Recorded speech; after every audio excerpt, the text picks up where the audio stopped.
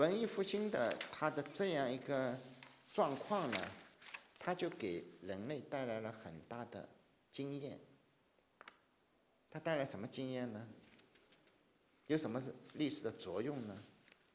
那么首先呢，它开创了什么？我们来谈谈它开创了什么。文艺复兴首先就开创了一个人的时代，它不是从解决物质入手的，而是解决人本身入手的。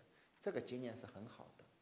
就我们出现什么问题，你不要去从别的东西去想，你首先是把人弄好。所以文艺复兴的这样一个历史定位非常正准确。当时他们的一个想法就是觉得人类不好了，人对事情没兴趣了，人的态度不积极了，人性弄坏了。所以文艺复兴定位的不是定位于物，而是定位于人，认为只要把人教育好，社会才能改变。所以这样一个经验呢，对于我们是很有启发的。那为了改变人性呢，所以他们搞那么多的教育，那么多的创作，嗯，创造出那么多优美的诗歌，那么多精美的艺术品。所以呢，问题是解决人的问题。那这个，这个呢，正好是印证了中世纪的那个悲观主义啊。中世纪生产力很低，说穿了也是个人的问题。中世纪没有那个政治秩序，说穿了也是一个人才不得其用的问题。中世纪那个教会里面呢，笼络了大量的人才，但是人才呢，却没有为社会服务。那么这就是人文主义者要改变的情况。人文主义运动的兴起，代表的知识精英，他们的服务对象不再是服务教会，而是服务于社会，服务于社会中的老百姓。那么这样一来呢？中世纪的一个弱点，知识分子远离政治社会中心的那个毛病就得到了纠正。文艺复兴的诗人、艺术家都是入世的人，他们不仅是和老百姓紧密的结合在一起，而且他们要成为老百姓的老师。那么从这个情况来看呢，他们是解决了中世纪的一个文化的弱点。第三个问题。就是说呢，文艺复兴运动呢，给那个欧洲呢提供了一种新文化，而且这种新文化呢具有一定的凝聚力，这就是改变了中世纪欧洲的文化没有凝聚力的问题。欧洲的中世纪文化，我们也可以说它有凝聚力的。我们经常说它是基督教文明，是基督教文化，但是呢，由于基督教会的世俗化。甚至去办企业啊，办民房厂啊，甚至有很多种种种的教师的腐败问题啊。由于教会的世俗化，教会在人心目中的形象呢，它不足以成为一种文明的凝聚力量。那么取代它的东西又没有，正好产生了文艺复兴文化。所以文艺复兴文化呢，后来能够传播到如此之广。它是有原因的，重要的一个原因，就是各个国家都盼望着出现一种新文化。还有一个原因，就是文艺复兴的文化，它是深入人心的，它是让人家都能够接受的，所以就出现一个文艺复兴文化的大传播。文艺复兴确实从意大利开始的，但是我们刚才说的莎士比亚，他却是个英国人。我们还知道西班牙也出过一个塞万提斯。写过一个《堂吉诃德》，是吧？我们还知道那个托马斯·莫尔，托马斯·莫尔是英国人啊，他写过《乌托邦》。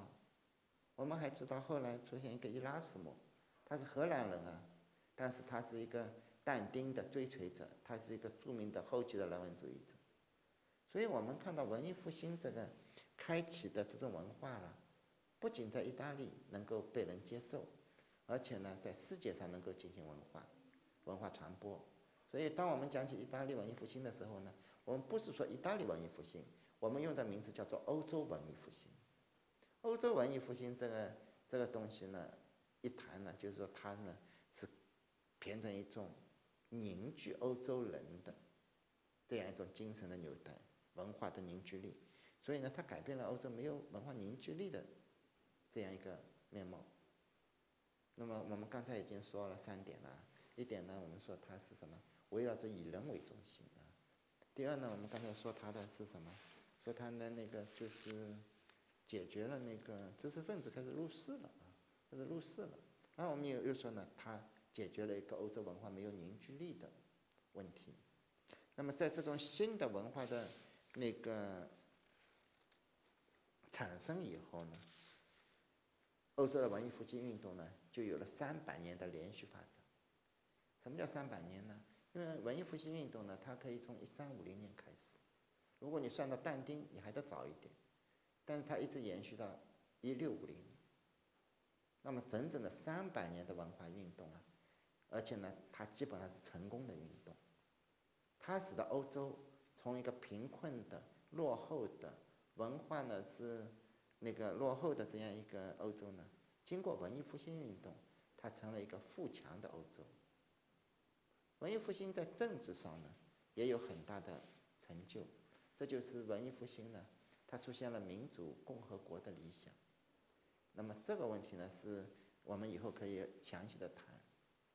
那么从那个这么一些文，仅仅从诗歌文化上来谈呢，我们可以看到。那个文艺复兴运动呢，对于社会是产生具体的影响。那么刚才已经谈了三种影响，我们还可以谈下去。我们如果谈第四种影响呢，就是它给人进行了重新的定位。以前的人啊，对人有两个称呼，一个把它称为是什么？称为人是一种 animal。我们经常有这种话，人是什么？political animal，social animal，就是不把人当人。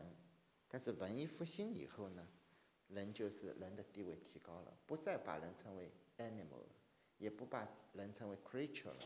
这就是人是一种，不再把它称为人是一种动物，或者把人称为一种人是一种上帝的再造物。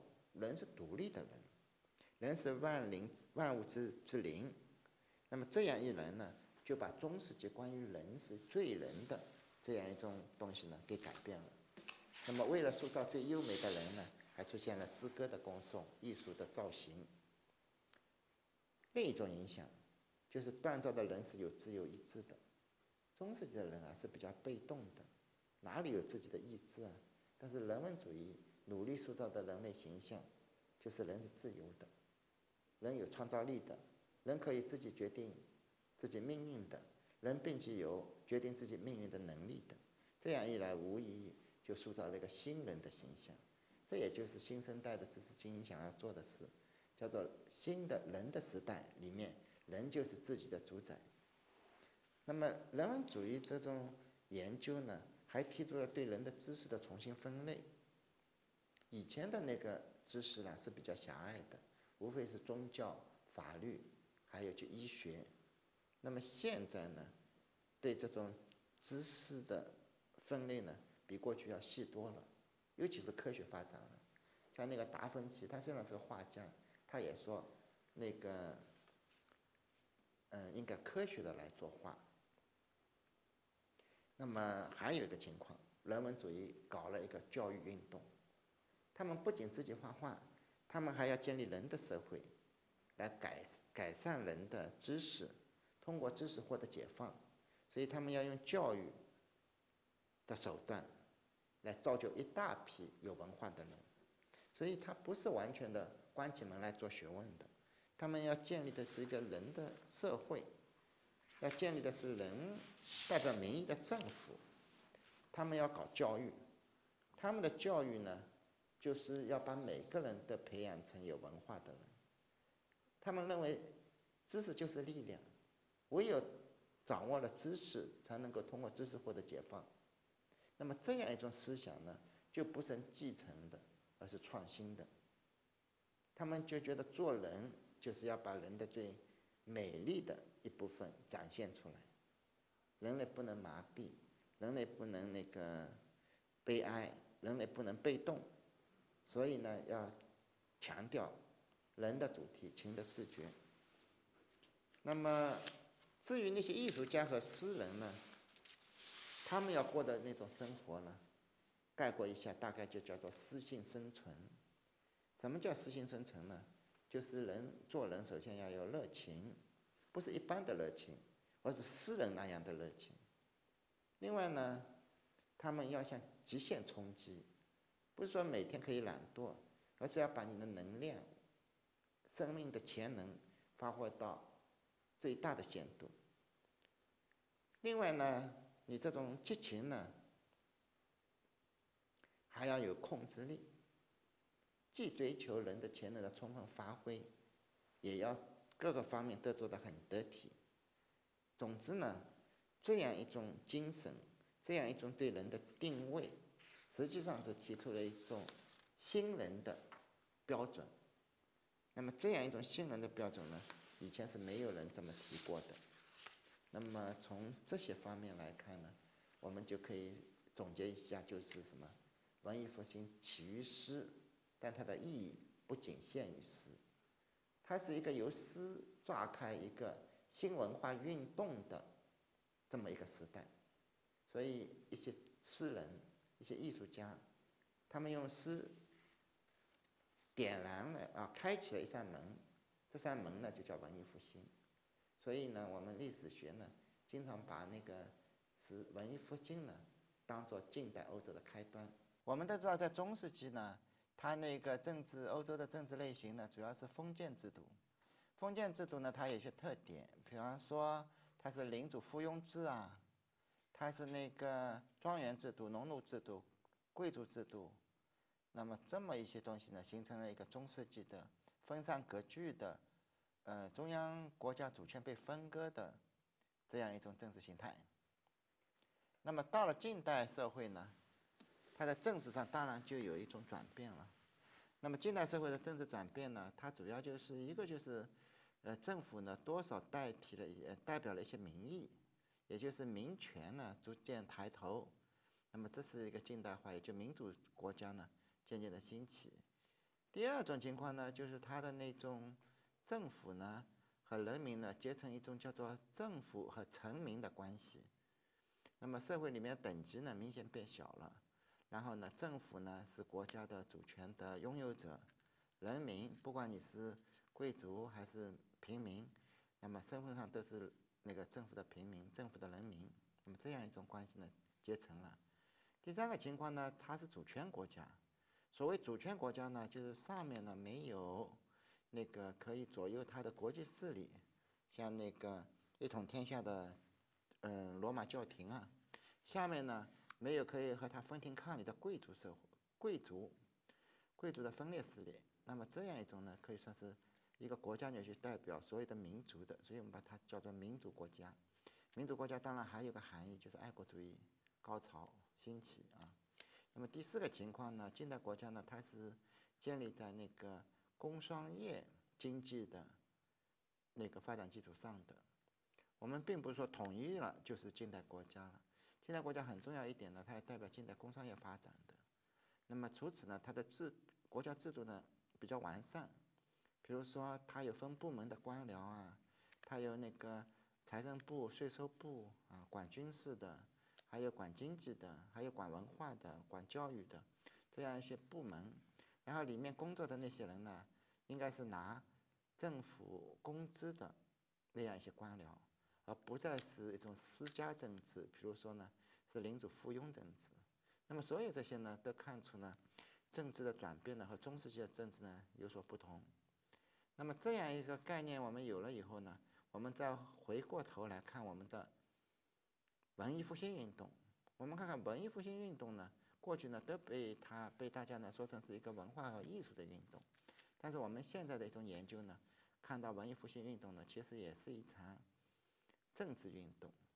那么它里面呢，凝聚了一些重要的一些政治思想的发展，比如我们谈到了。那个马基雅维里，我们肯定知道他是一个很重要的政治人物。比如我们谈到英国的那个托马斯·莫尔，因为他写过一本书叫做《乌托邦》，我们也认为他是个政治家。所以呢，今天我们这个这个课呢，就是要从那个政治的视野来考察一下文艺复兴。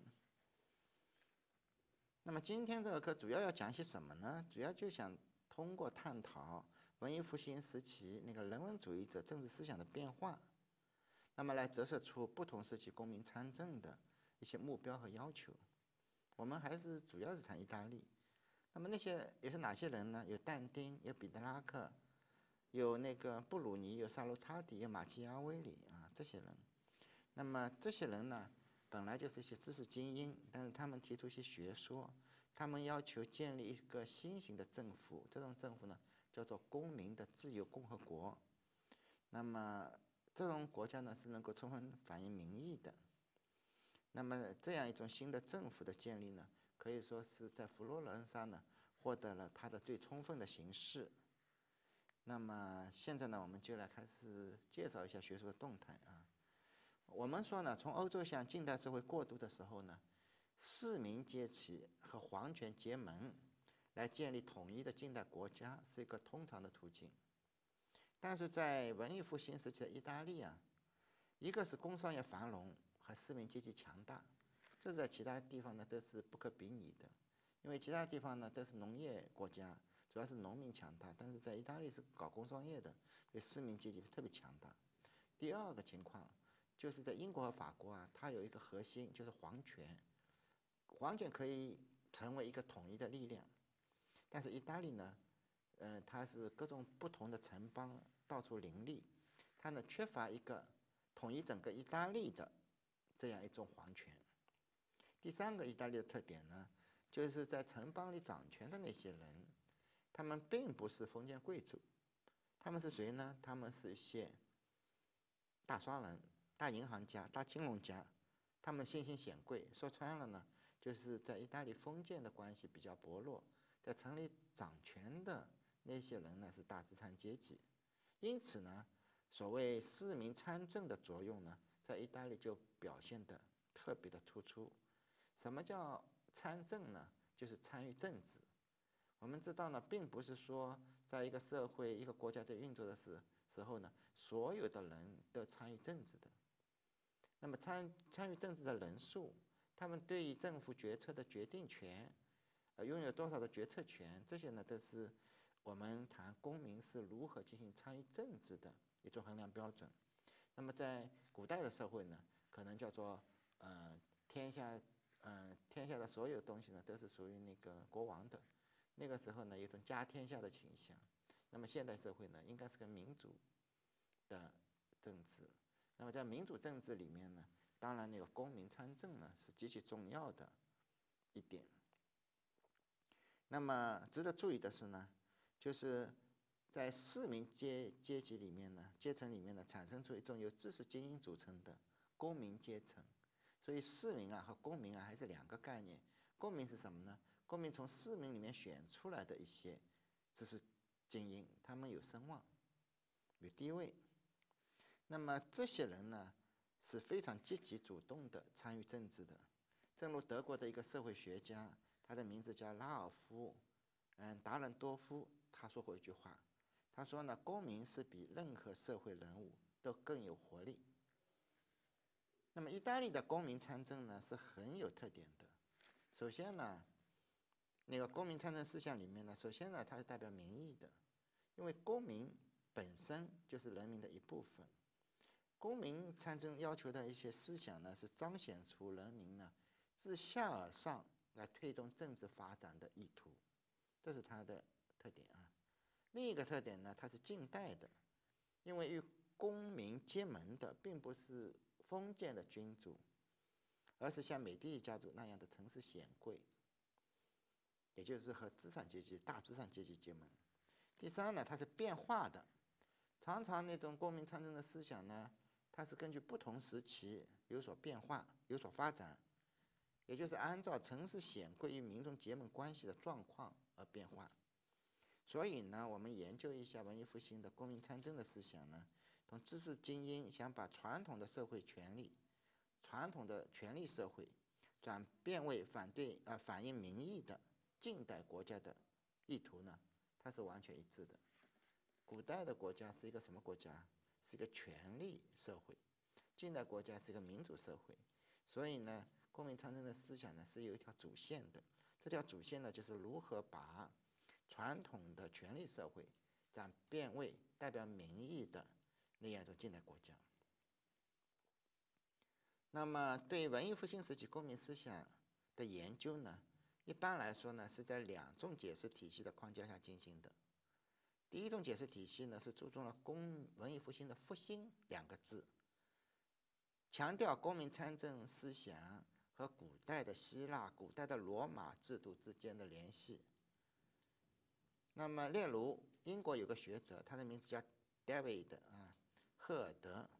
这个 David 赫尔德认为呢，文艺复兴时期的知识精英啊，他们对罗马共和国时期的推崇，要高过了对雅典、希腊雅典体制的推崇。为什么呢？因为古希腊的民主制常常是不稳定的，而古罗马的共和政治却比较稳定，因为古罗马和古希腊是不同的，因为古罗马形成的政治模式呢，不仅要把自由和美德结合在一起，而且呢还要把自由与市民的荣誉和军事力量结合在一起，所以呢，那个文艺复兴那些人呢，他们更推崇共和时期的罗马，因为古罗马提供了这样一种政治观念，他把政治的参与、荣誉和对外的征服联系在一起。因而呢，可以摧毁君主政体中形成的如下看法：即国王享有对其服从者的个人权威，只有国王才能保证法律安全和权力的有效实施。那么在这种背景下呢，对许多共和国来说呢，自由呢却是意味着摆脱暴君的专制权利，意着意味着什么？意味着公民。通过参与政府管理，公民呢通过参与政府管理其公共事务的权利，公民获得一种权利，通过政府来管理公共事务。那么这个呢，主要就是记得有个英国的学问家啊，他的名字叫 David 赫尔德，他认为呢，主要是继承了罗马共和国的这样一种体制，因此呢，就把文艺复兴的那些。公民参政思想呢，看成是复兴，复兴什么呢？复兴古代，哪个古代呢？古代的罗马共和国。